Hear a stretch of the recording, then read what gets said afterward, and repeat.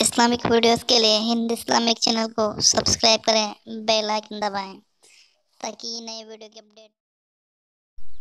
बिसमीम अल्लाम रहमतुल्लाहि व बरकातहू नाजरीन, आपका खुश देते हैं हमारी YouTube channel, Hind Islamic channel में।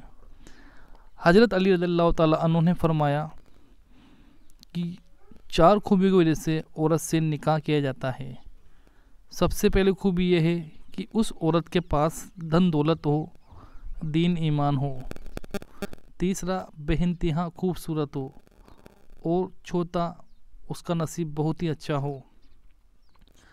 हज़रत अली रज़ी तु ने कहा, एक बात हमेशा याद रखना, मैंने अल्लाह के रसूल सल्लल्लाहु अलैहि वसल्लम से सुना है कि इन चारों खूबियों में से सबसे अफजल खूबी यह है कि औरत दीन ईमान वाली होनी चाहिए।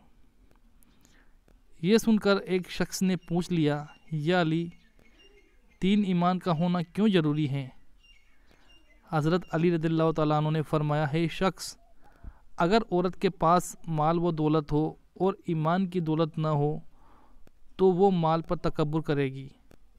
और अगर हुस्न व जमाल हो और दीन न हो तो वो खूबसूरती पर गुरूर करेगी।